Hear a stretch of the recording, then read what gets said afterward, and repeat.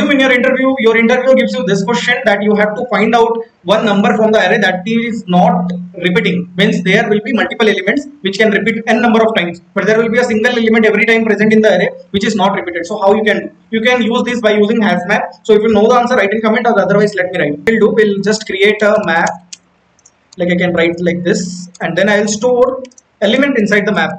I will go from starting to ending of the map and every time I will check that if that map has the element. If it has then what we'll do? If it does not has then we can simply store that element.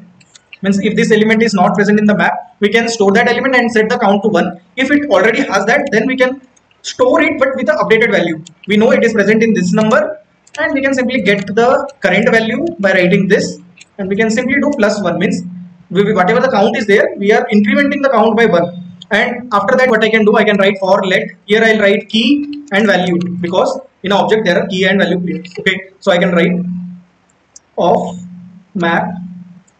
And every time if I will just write if value triple equals to 1 then just return the key. Means return. So if I run it so you can see 34 is written and we got our answer. So for this kind of interesting thoughts subscribe our channel and like this sort